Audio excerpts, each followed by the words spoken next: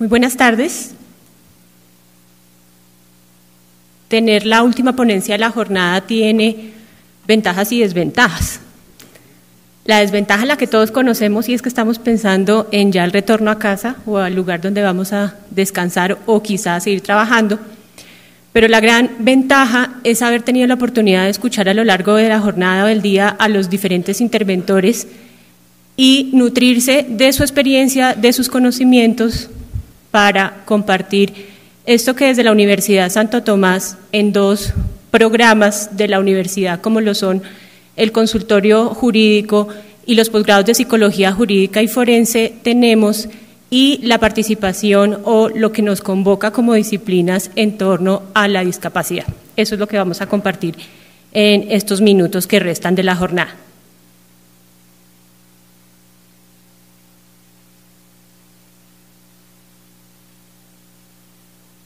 Es por ello entonces que vamos a hablar de la capacidad jurídica de las personas con discapacidad, una visión desde la perspectiva de la psicología jurídica, para quienes no están familiarizados con el tema o para quienes no son psicólogos, pues queremos aclarar que la psicología jurídica es un campo aplicado de la psicología que estudia los comportamientos en escenarios regulados jurídicamente. Nuestra labor como psicólogos jurídicos es trabajar de la mano todo el tiempo con profesionales en derecho para apoyar, para asesorar las labores que se dan en los diferentes contextos jurídicos, especialmente en los escenarios de administración de justicia y de allí la convocatoria. Al interior de la psicología jurídica encontramos entonces diferentes campos o especialidades, escenarios de acción, en donde podemos ver a la psicología del testimonio, la psicología jurídica penitenciaria, la psicología jurídica de la conducta victimal, de la conducta antisocial y criminal, de, los mecanismos alternativos de solución de conflictos o de resolución de conflictos, la psicología jurídica aplicada al derecho civil, de familia, de infancia y adolescencia, y quizá la más conocida para muchos de ustedes que es la psicología forense.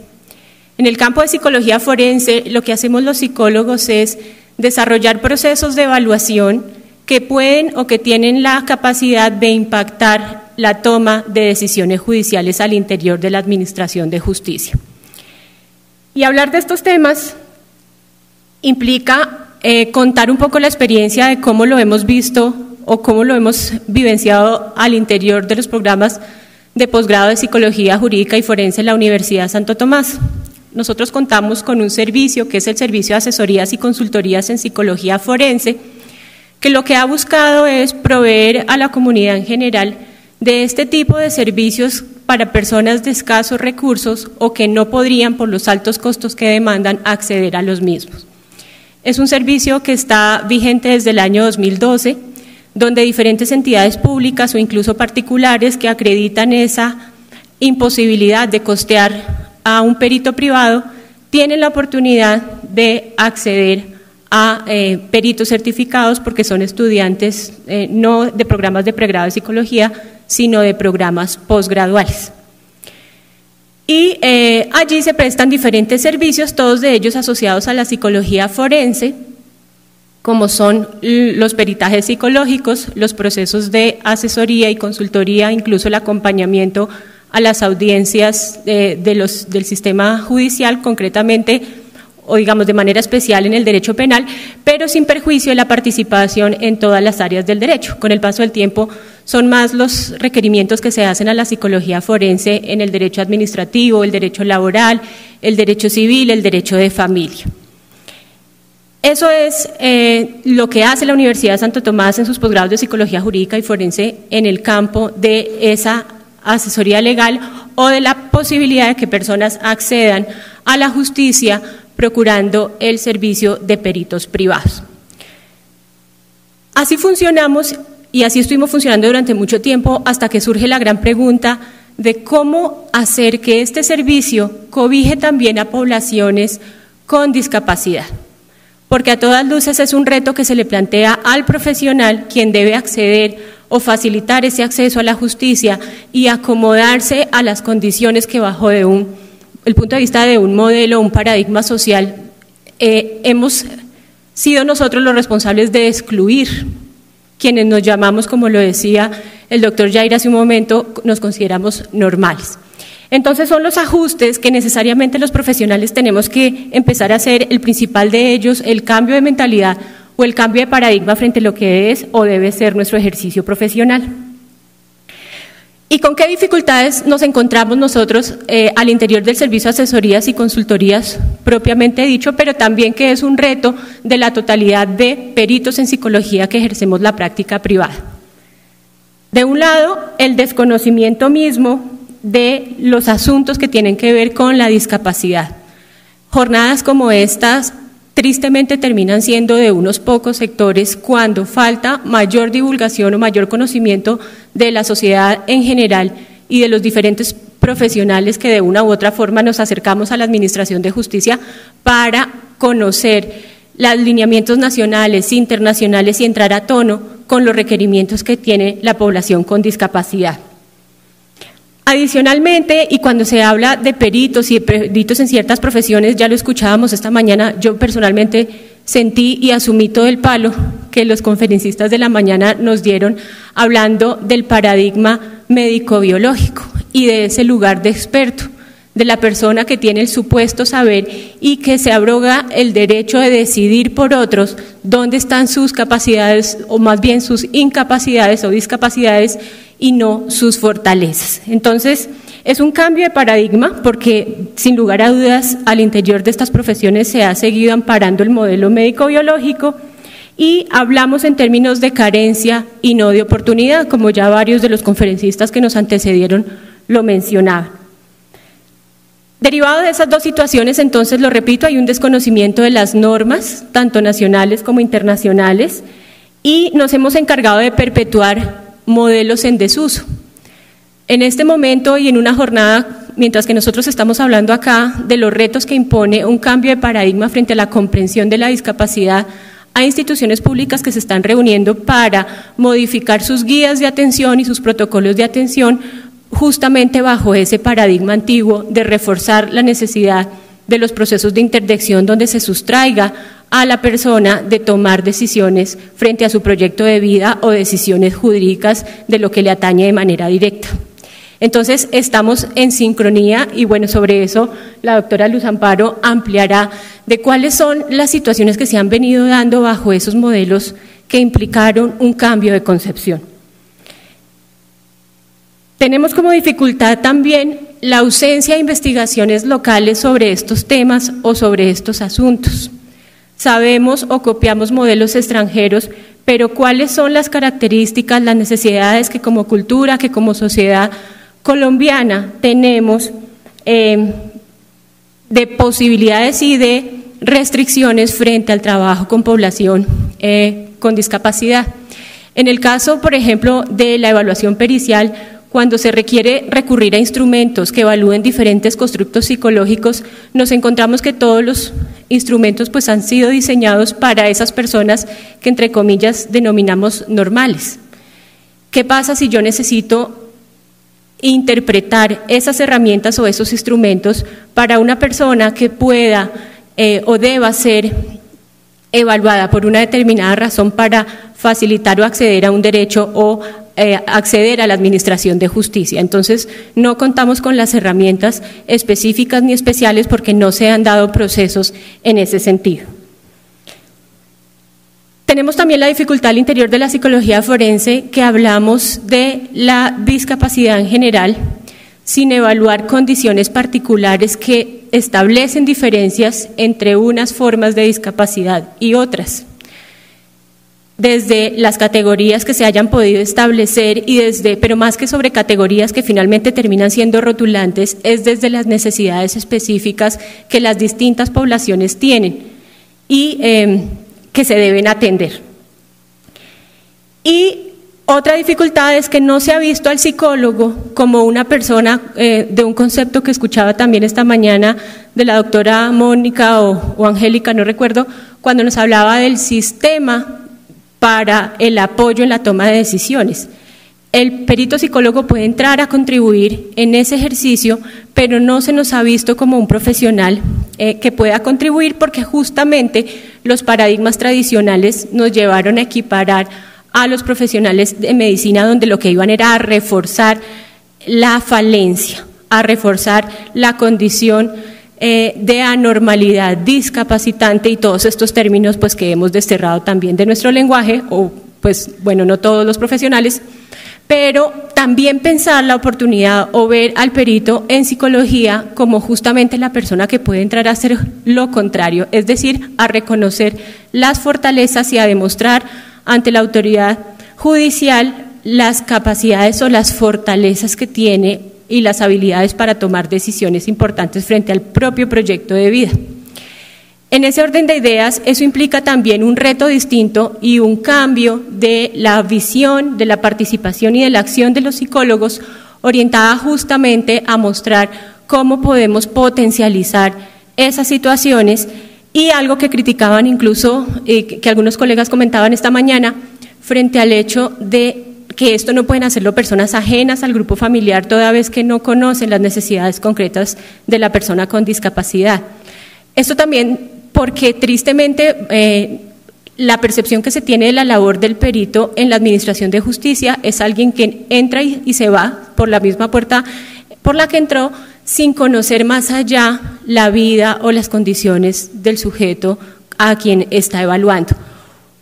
Un profesional que obra con ética, un profesional responsable y consciente de su ejercicio, sabe y está consciente que el proceso de evaluación debe acompañar y abordar todas las esferas de la vida de una persona. Luego, sí es posible hacer exámenes periciales completos, no donde lo que importe sea el concepto que emite el profesional para decir si puede o no puede, sino justamente para acentuar la voz de la persona con discapacidad que está siendo sustraída de toda suerte de derechos. Hemos tenido también situaciones al interior del servicio de asesorías y consultorías de la creencia de que quienes se involucran afectivamente con personas eh, con discapacidad sufren o, o, buscan o están detrás de intereses eh, de poco decoro o abusivos. Concretamente teníamos el caso de una mujer con discapacidad intelectual que se vincula laboralmente con una empresa, o sea, sabemos que había sido las excluidas de los procesos de interdicción que tanto criticábamos en la jornada de hoy. Es de esa escasa porcentaje de personas que logran vincularse laboralmente y estando vinculada a la empresa se relaciona afectivamente con otro trabajador. Sostienen una relación afectiva por más de un año a escondidas de su familia porque pues pese a que ella está trabajando y demás, su familia ha reforzado la idea de que es una persona a quien se le deben limitar o coartar ciertos derechos porque no tiene las capacidades para. Cuando la familia de esta mujer se entera de la relación afectiva, presenta una denuncia penal, concretamente se le judicializa al muchacho por el delito de acceso carnal abusivo con incapaz de resistir. Contra privado de la libertad, y obviamente argumentando esa discapacidad intelectual que el paradigma médico clasificaría como leve, pues porque ella podía estar trabajando y demás, pero eh, para las cosas que conviene decir que tiene capacidades es suficiente, pero en este caso se consideraba que no las tenía para efectos de tomar decisiones frente a sus derechos sexuales y reproductivos. Una mujer que está en desacuerdo con las medidas judiciales que ha adoptado su familia, que siente vulnerados sus derechos, y un varón privado de la libertad, enamorado, entre otras cuestiones, y que em, no entiende las razones por las cuales se le judicializa como si la discapacidad intelectual se extendiera automáticamente a todas las esferas o dimensiones de la vida de un sujeto, incluido el plano sexual. De este tenor son los casos que se están sorteando en la psicología forense hoy por hoy y que obviamente plantean todas las preguntas del caso frente a cuáles son los derechos que tenemos que ayudar a proteger, a salvaguardar o, como lo decía el doctor Jair, a reconocer, porque no es que no existieran o no estuviesen presentes, sino que quienes nos llamamos normales decidimos desconocer.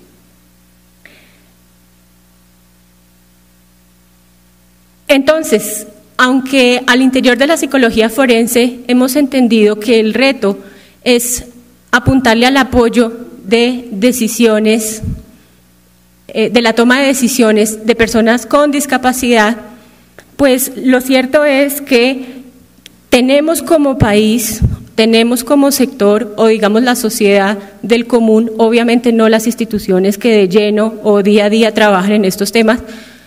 las limitantes en cuanto a recursos físicos, a capacitación o incluso a pensar modelos de qué hacer con las diferentes formas de eh,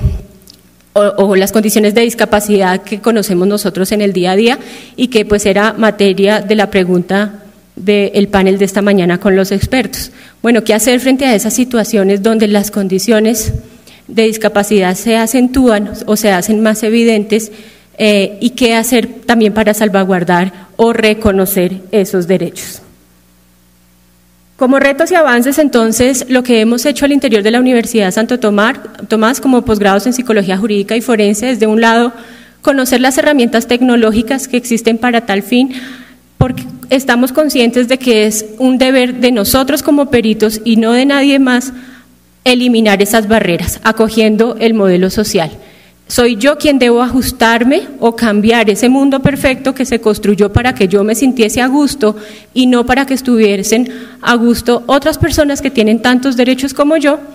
acoger las tecnologías que el país ha venido incorporando, desarrollando, como los eh, modelos de Convertic, eh, del modelo JOLS y de Magic, que pues todos podemos acceder, que son gratuitos, que se descargan de manera gratuita de la plataforma del Ministerio y eh, la capacitación de nuestros peritos, que se ha empezado a impactar el currículo,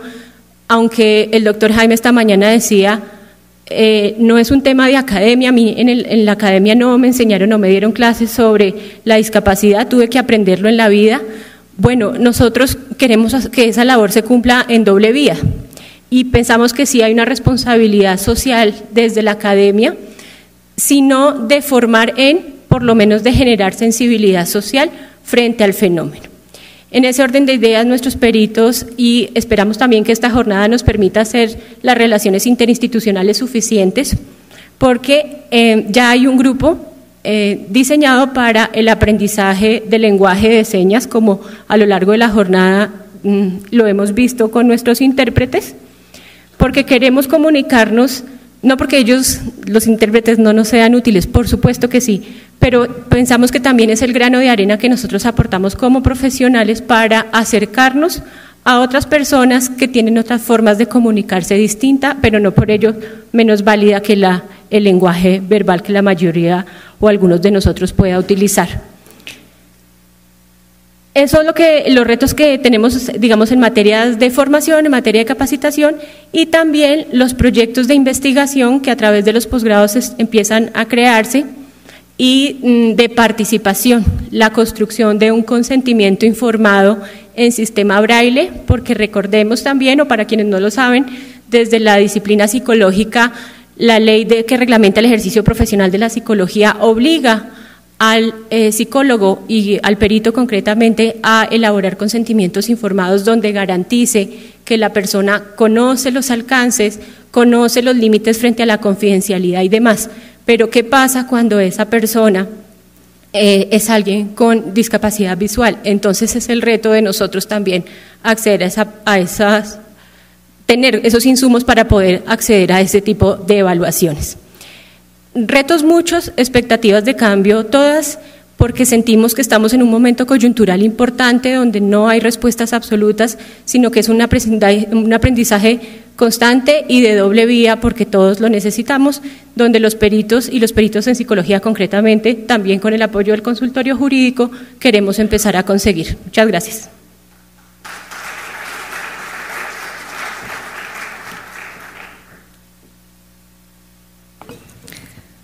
Buenas tardes, ya casi noches. Soy Luz Amparo Serrano, abogada de la Universidad Santo Tomás, magíster en Psicología Jurídica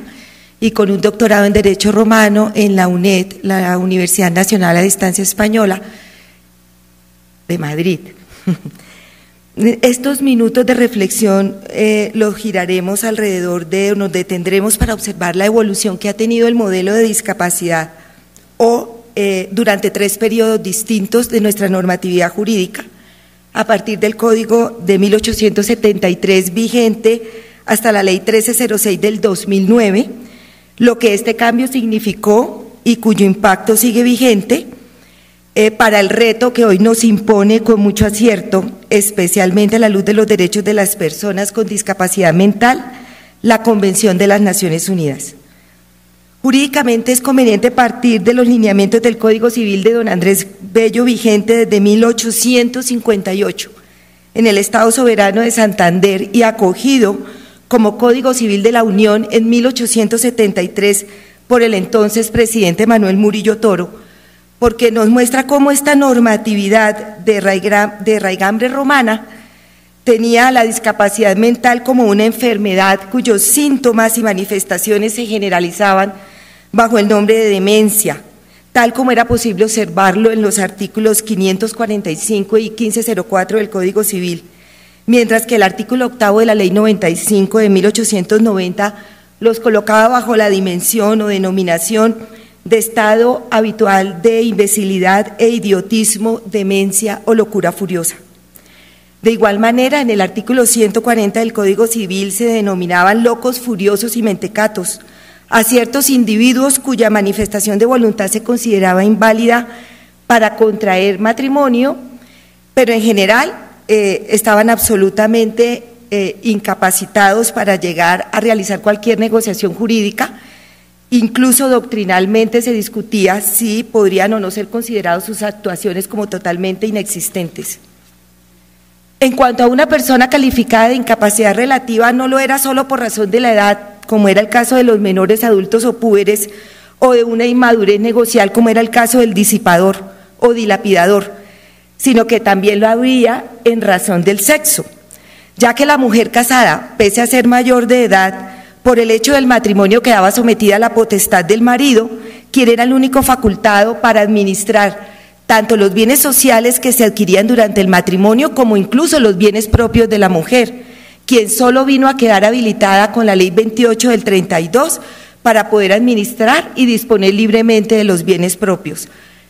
De esta manera, nosotros las mujeres también nos ha correspondido a partir de la mitad del siglo pasado, aprender a vivir con capacidad plena en este país. La interdicción de una persona mm, declarada como incapaz relativa la dejaba prácticamente impedida no solo para enajenar su patrimonio, sino para administrarlo, pues tan solo podía hacer aquellas actuaciones que la ley le permitía como testar, reconocer un hijo, ser mandatario, ser factor de comercio, hacer compras de bienes muebles que fueran de poca monta cuantía, generalmente para artículos de tipo personal, pero todas las demás actuaciones contractuales les estaban prohibidas. Hemos reseñado cómo la ley se refería a las personas con discapacidad de una manera totalmente lesiva a su dignidad como persona,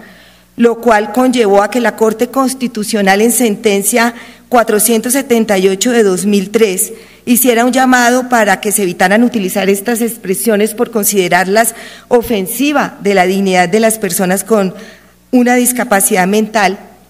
Y este criterio incluso acaba de ser reiterado, sorprende, pero tenemos una sentencia 458 del 22 de julio del 2015,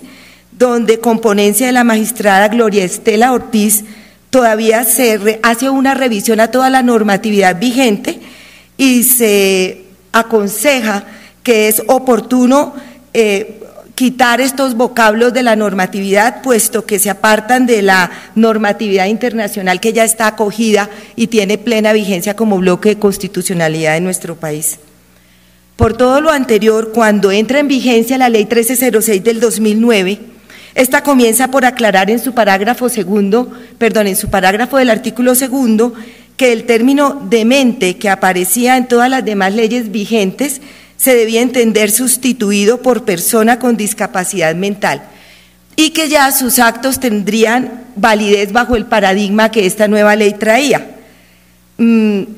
pero, sin embargo, en su artículo 17 eh, se comienza por definir a las personas con discapacidad mental absoluta como quienes sufren una afección o patología severa o profunda del aprendizaje, de comportamiento o de deterioro mental, mientras que por discapacidad mental relativa en el artículo 34 se califica como tales a todas aquellas personas que padezcan deficiencias de comportamiento, prodigabilidad e inmadurez negocial y que como consecuencia de ello puedan, oponer, puedan poner en serio riesgo su patrimonio.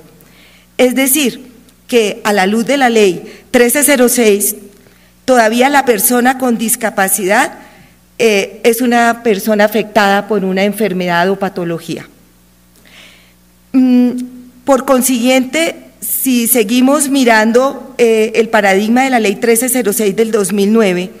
encontramos cómo eh, para poder tener claridad de lo que el juez tenía que hacer para inhabilitar tanto a las personas con digamos, afectadas de una discapacidad mental absoluta o de una discapacidad relativa,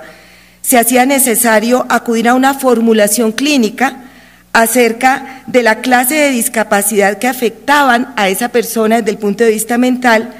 y contrastarla frente a una formulación forense para poder dictaminar qué clases de actuaciones podía o no desarrollar estas, estas personas. Pero vale la pena mencionar que la ley 1306 del 2009 sí significó un avance respecto de lo que el Código Civil que veíamos al inicio tenía eh, para este tipo de, para las personas que tenían las discapacidades, ya que eh, aun cuando sus actos quedan afectados de nulidad absoluta, eh, pues no necesariamente los apartan de la totalidad de sus derechos fundamentales, ya que el articulado plantea la posibilidad de que la persona bajo interdicción absoluta pueda rehabilitarse, lo que a la luz del Código Civil era absolutamente imposible de pensar. Por consiguiente, también obliga al juez a estar atento y anualmente hacer una valoración para saber si es posible eh, rehabilitar a la persona con esta discapacidad e incluso restituirle su capacidad plena. También dejó abierta la posibilidad de que pueda aceptar por sí mismo un acto gratuito o de mera liberalidad que acreciente su patrimonio o que haga eh, o que se haga a su favor, presumiéndose en este caso el, consentimiento del representante legal. Mm, en cuanto a la esfera familiar y personal, eh, la, el artículo 50 de la ley 1306, aun cuando deja bajo la potestad del juez mirar o no y estudiar cuál es el alcance de la capacidad mental para poder eh, considerar si la persona es apta para contraer matrimonios y por consiguiente generar unas relaciones, unas relaciones a la luz de obligaciones y deberes como esposo y como padre, o también le da la posibilidad de reconocer si hay una unión marital de hecho formado por una persona con una discapacidad mental o con dos personas eh, en igual condición eh, necesariamente eh, todavía sujetos bajo el paradigma de la 1306 a que sea el juez quien permita y califique si es posible o no llevar a cabo todas estas actuaciones que atañen a su índole familiar. Hay muchas más. Por ejemplo, reconocer un hijo o entregar en adopción un hijo. Bajo el paradigma de la 1306 es el juez de familia quien tiene la facultad de aprobar o improbar estas actuaciones pero ahora se nos abre un nuevo reto y es el reto que nos trae eh, pues la convención, puesto que necesariamente estamos hablando de la presunción que cobija a todas las personas que llegando a la mayoría de edad, que son los 18 años, se van a entender que son personas sujetos plenamente capaces. Pero estos retos nos llevan entonces a darnos cuenta que hay que Mm, definitivamente apoyarlo en la toma de decisiones que tiene que seguir eh, adoptando esta persona, respetándolo completamente su facultad de decidir, ayudarle eh, definitivamente a saber qué va a hacer con su vida, pero eh, debiendo afrontar en este caso un reto muy alto que debe, digamos, asumir acompañada, como lo decía la doctora Andrea, pues hombre, por la sociedad, la familia, el Estado y la academia. Eh, ciertamente nosotros tenemos que llegar a cumplir con ese con el deber ser de las cosas que es hacer desaparecer la figura de la interdicción. y para cumplir con este propósito es una responsabilidad que nos atañe a todos, como sociedad, como individuos, saber qué granito de arena tenemos que aplicar para cumplir con este propósito. Eh, es muy importante el camino que traza la Convención de las Naciones Unidas. Definitivamente la discapacidad mental, intelectual y psicosocial no se tiene que entender como un problema, como un defecto, como una enfermedad, como hasta ahora lo ha hecho la normatividad. Eh, por consiguiente, siendo un concepto que evoluciona, es el momento de nosotros de aceptar este reto y es la posición que hemos asumido desde la Universidad Santo Tomás, que eh, necesariamente nuestros estudios, investigaciones de aquí en adelante contribuyan a que en la sociedad todos seamos pues necesariamente eh, iguales bajo un principio de pronto más de equidad que de total igualdad pero es un reto que estamos dispuestos a asumir con todo el compromiso que la academia nos, nos entrega como responsabilidad en estos momentos. Muchísimas gracias por su atención.